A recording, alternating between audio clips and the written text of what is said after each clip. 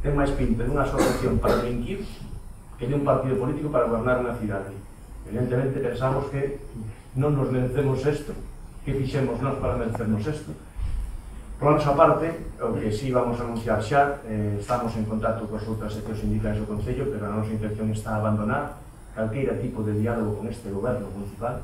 Pensamos que non está a altura, non nos podemos fiar en absoluto de nada do que pudamos falar con eles e tratar, porque non son xente de fiar e eso está á vista e por nosa parte a partir de agora e hasta o remate do mandato se non se produce eh, ningún feito anterior que, que acabe xa con este goberno municipal evidentemente a nos, non nos queda ningún tipo de contacto máis que dedicarnos a facer todo o posible para que esta plaga remate con Este é un tema clarísimo de persecución sindical, nin personal siquiera, nin siquiera, ni siquiera personal, porque mira, eu a Adrián Varela coñezo de vista, ele a mí igual, sabe quen son eu, eu quen eu.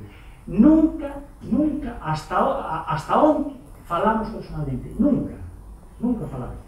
Nos vemos no hall, hola e nada máis. Nada máis. entonces non houve cara hacia Adrián Varela, contacto ningún pola miña parte. E quero decir que pola do sindicato hacia a acción de goberno houve moitas porque non nos deixan. Pero hacia Adrián Varela en concreto, hasta aquelas datas tampouco.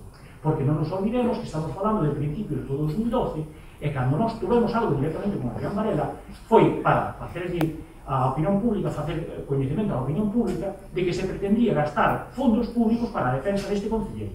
E hasta ese momento non houve nada directo con Adrián Varela. Por eso, evidentemente, sospeitamos que detrás de Adrián Varela pode haber alguén máis. Adrián máis é que non só é deste concelleiro. Poderemos saber, pois o futuro dirá. É posible que ao mellor non. É posible que ao mellor tamén haxa algunha escoita que clarifique isto.